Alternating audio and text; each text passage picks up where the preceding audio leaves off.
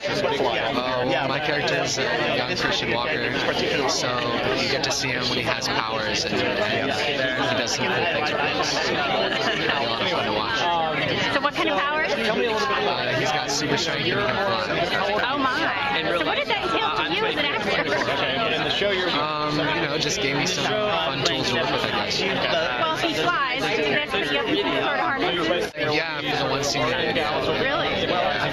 Well, this show is kind of interesting. It seems like, again, we're having a prevalence of people with special abilities, but they're kind of running amok in society. So are we kind of rooting for them, or what are we rooting for? I think you're rooting for different, like, I think, I think it doesn't depend on whether it's powers or not. It just depends on the character themselves. It's very character-driven show. It's really interesting considering uh, the power behind it. But I think what's really cool is that it also sort of has, uh, it tells a story on society right now with celebrity, which I think is really interesting, is how it shows how bad celebrity can be for a human, um, whether it be because you're an actor, because you're That's, that's conflict in you, and then He's having a good time then.